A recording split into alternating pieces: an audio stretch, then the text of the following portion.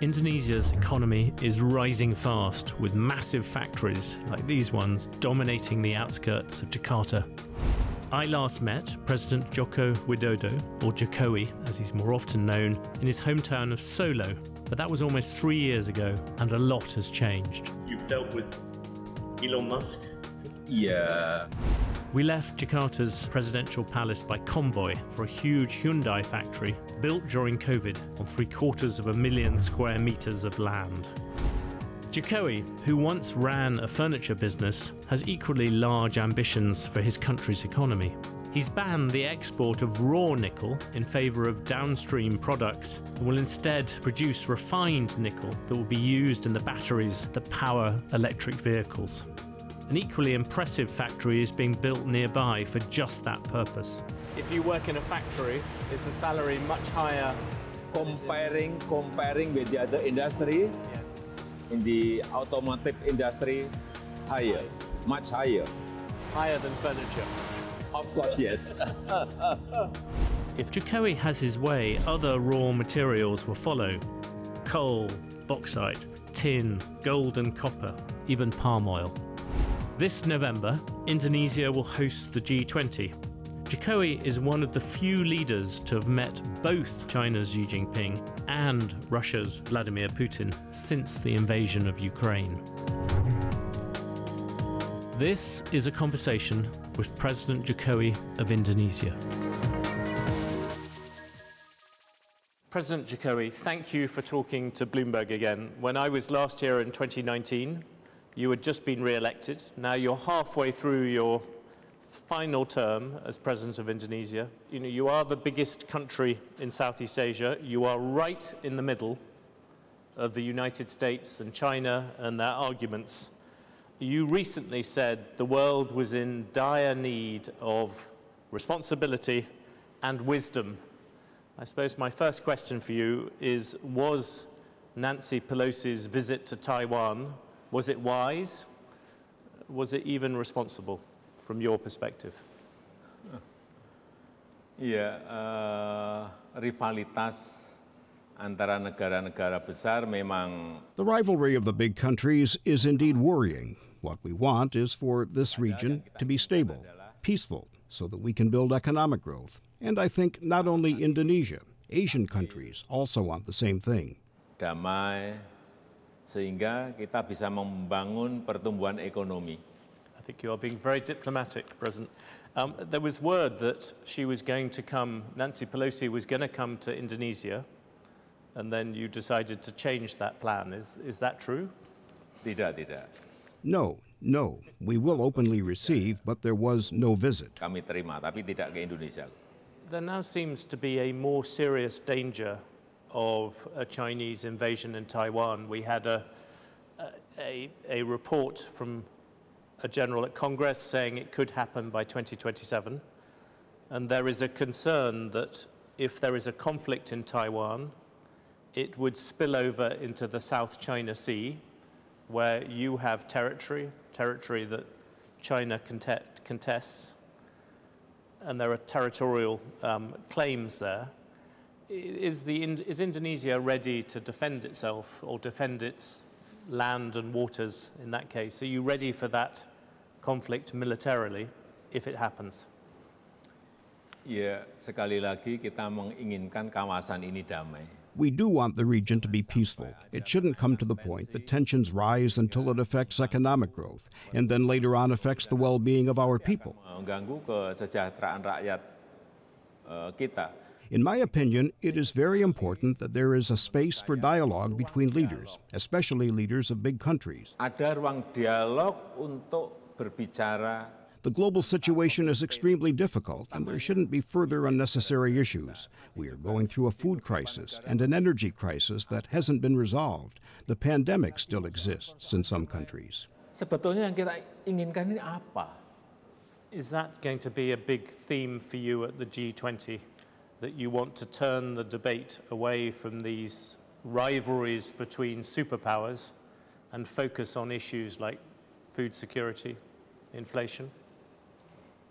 Ya lebih baik Yes, it is better than having open conflict. It is better to have a forum for dialogue like G20. If there is space for discussion, we can discuss and have debates and hopefully come up with solutions. This is what we want. This is why we have a space for dialogue. ingin kita kita siapkan ruang dialog. I know that you have invited President Xi Jinping to come to the G20. Um, has, he, has he said he will come here in November? Ya. Yes, President Xi Jinping will come. And President Putin? President Putin has also told me he will come.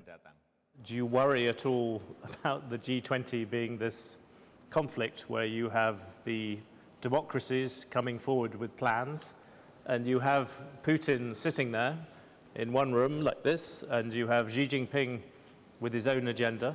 It will be a very difficult, very difficult house party to run.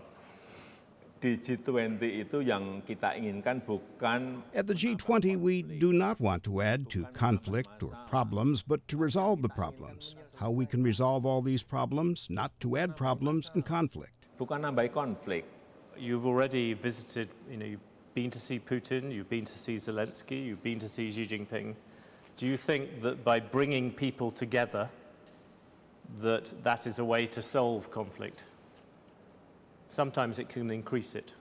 Ya mestinya kalau ada komunikasi There must be communication, even if it doesn't necessarily resolve the problem. It is better to have dialogue than to have open conflict.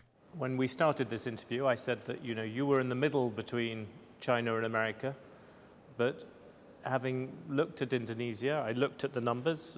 American investment in Indonesia over the past five years is $9 billion. China has invested $40 billion. You know, you look around here, we have a Chinese car factory around the corner. China's, China is buying up a lot of the refineries that make precious metals. America at the moment is losing the battle for hearts and minds in Indonesia, but also in Southeast Asia. Do you, do you think that is fair? ya itu mungkin pendekatannya yang memang harus diperbaharui. This is an approach that needs to be renewed because what is needed by countries in Asia, including Indonesia, is investment. What investment? If it comes from China, we welcome it. If it comes from America, we welcome it. We are not going to be choosy. Bukan bukan kita memilih-milih bukan. Supaya tahu. You are not choosy, but one side, one side is coming and saying, I want to invest, I want to trade, and the other one is saying, no trade packs, um, I, and, and I want to come and talk about other things. Ya oleh sebab itu tadi saya sampaikan That is why I said previously they need to renew their approach. You've dealt with Donald Trump, who famously insulted his allies and promoted America first. Joe Biden was supposed to be different, but rhetoric aside, is there any change? Surely Joe Biden is still saying America first. He just isn't insulting you at the same time. ya kalau kita melihat uh, uh, Indonesia Indonesia wants to be friends with everyone, with any country. We don't have problems with any country. Each country will have their own approach. Each leader has their own style and approach, so there shouldn't be a problem. But now, what's needed by Indonesia is investment, technology that will change our society. yang itu akan me- mengubah masyarakat kita. I just wanted to ask you about ASEAN, since you mentioned it. You have a group of countries, but it is one where you look at the countries, it includes Myanmar, which seems to have all these problems with human rights and so on. Uh, Why do you keep Myanmar in ASEAN? Sebetulnya kita kan sudah We already had a meeting in Jakarta with all members of ASEAN. All the leaders came, including Myanmar's junta, and there's a consensus, five point consensus. The implementation hasn't taken place, and the approach we have taken hasn't worked. That's the complication we're facing. There are several ASEAN meetings after that which we did not include Myanmar participation. Myanmar tidak kita ikutkan. One very last thing on foreign policy. You, you talked about seeing, you've been to go and see Vladimir Putin and tried to talk to him, and you saw President Zelensky in Ukraine. I think you focused on food security and, and issues like that. Do, do you see any sign of peace or progress there as the president of the G20? Ya, saya ke Kiev dan berbicara dengan Presiden Zelensky. I went to Kiev and talked to President Zelensky, one and a half hours. Then went to Moscow, Russia, to meet with President Putin and talked with him almost two and a half hours. Tetapi saya melihat uh, peluang itu kecil. I want to see a space for dialogue after the meeting so we can discuss. Anywhere is no problem, but I see the chances are small. So I turned to issues like food crisis, and President Zelensky said they can't export because there were no guarantees for security to ship goods from Odessa port to Istanbul. That was the message I conveyed to President Putin. And President Putin said he will guarantee security for ships to enter Odessa. Those are what I told the media. Can we look at industrial policy and resources, which has been your, your big crusade?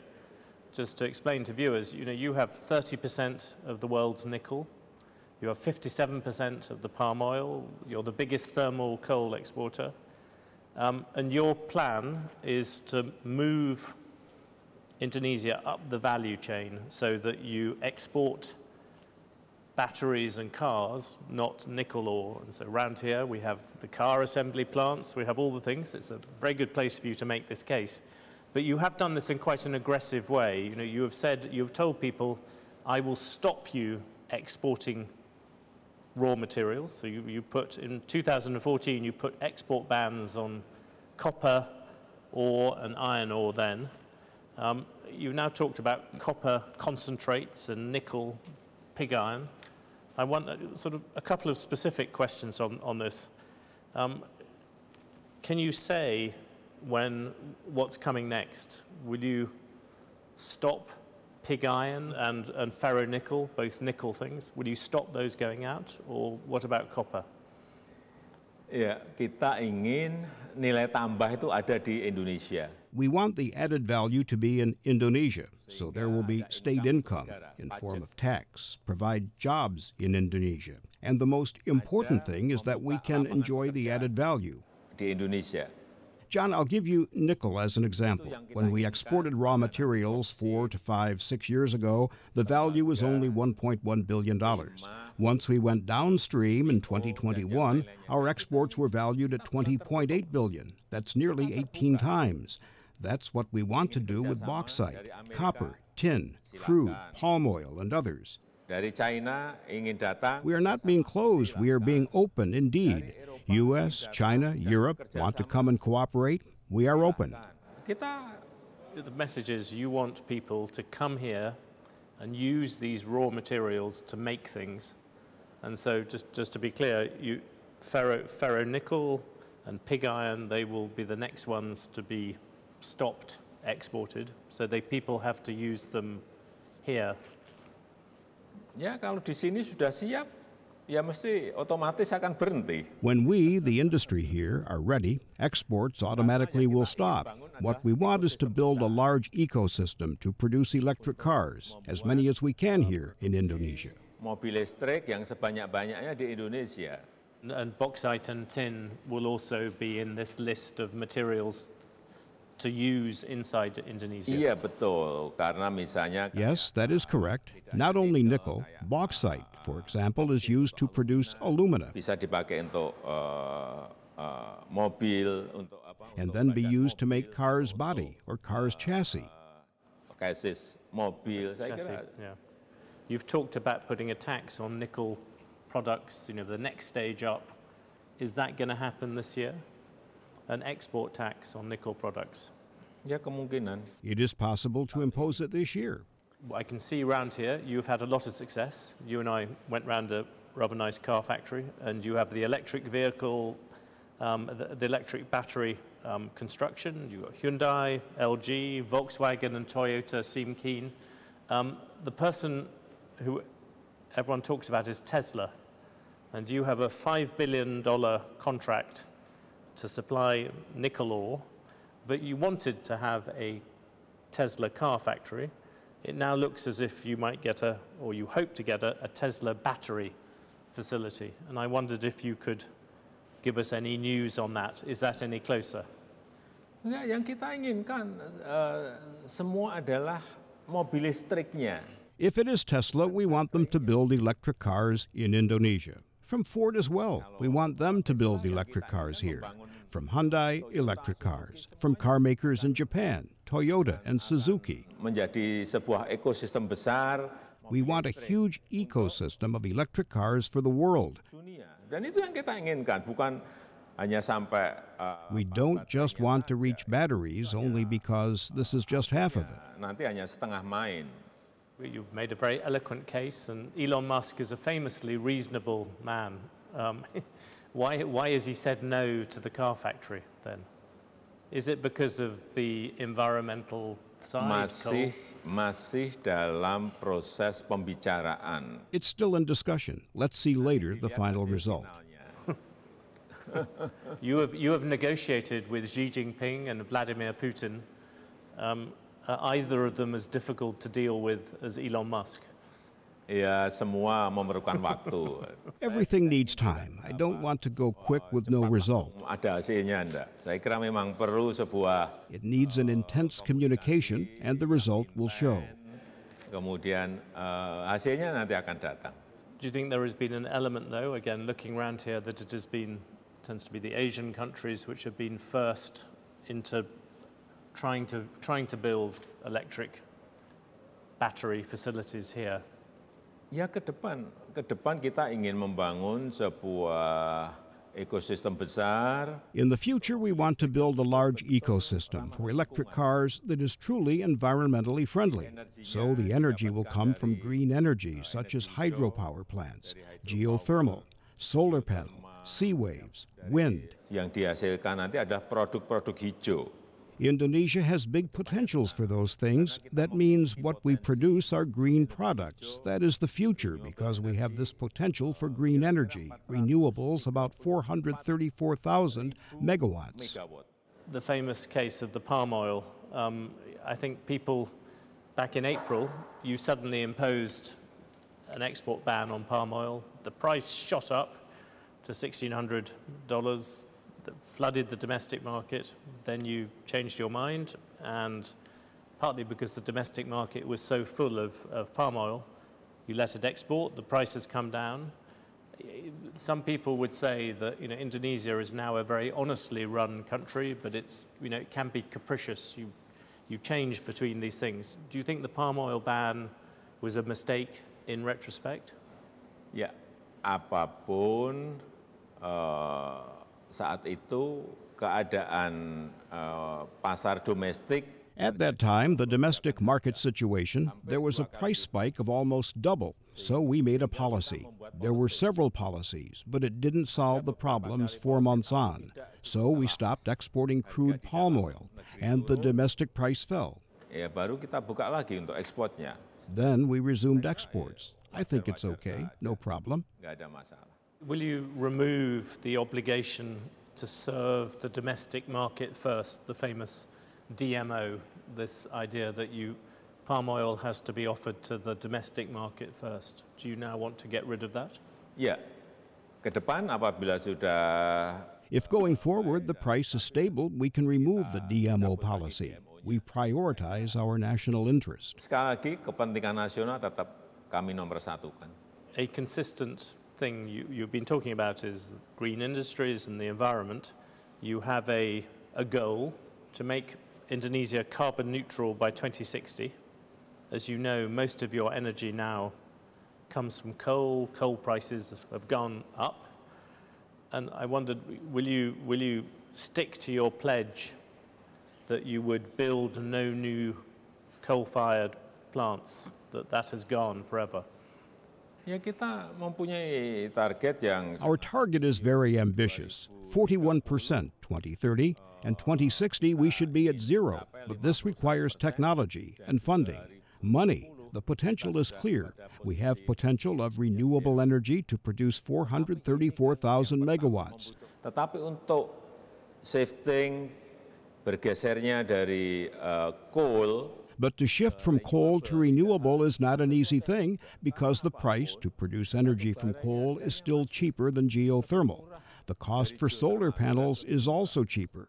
Untuk hydropower memang sebetulnya lebih Hydropower is actually cheaper, but the initial investment is huge. We need investment from outside to shift from coal to renewable. renewable. You're sticking to your pledge that there will be no new coal-fired power. Sudah. Yeah.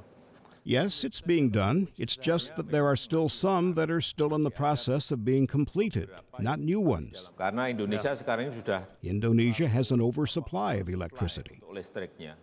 half of the emissions from Indonesia come from land use and forest clearing. And 51% of Indonesia is forest. And you have committed to keep that 50, you know, keep to that level. But you are still letting people cut down rainforest, which is the really most useful bit. They're, they're building other forests, farm forests. Isn't that the wrong thing? You should be protecting the rainforest first and then thinking about the other kinds of forest next. John,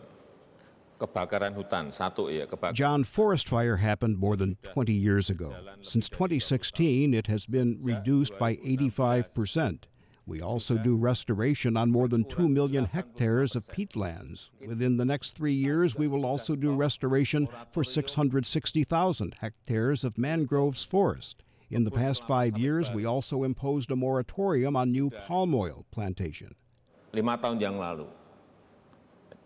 Does it make you cross when people from the rich world, like me, appear and uh, countries that have already taken down their forests, gone, used their coal, and you have a country of 270 million much poorer people who have not done this yet, and we come and lecture you about this? Massive forest clearing is in the past. No more today. What we have now is restoration, revitalizing, taking care of the environment. I have required all mining companies to build a nursery for reclamation of their mining areas. We are working to improve the environment.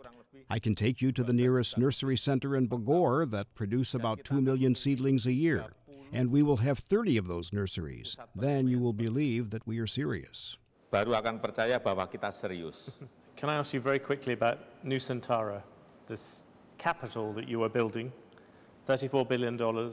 The aim is to finish it by 2045. Um, this would be the new capital of Jakarta in Borneo. I wondered, will you finish the first stage in August 2024? Are you on time in terms of that? Eh, Perpindahan ibu kota ini adalah gagasan lama. The shift to new capital is a long term plan since the first president, Sukarno. It's my responsibility to put the policy in place, but we still check the feasibility studies. Dan ini bukan hanya It will need funding of $33 billion, and we will use state budget to cover for 20%, while the rest, 80%, from private sector, from investment. And this isn't just for two years, it's for 20 years. I'm confident with a good concept and with good returns for the investments, I am sure many investors will come in.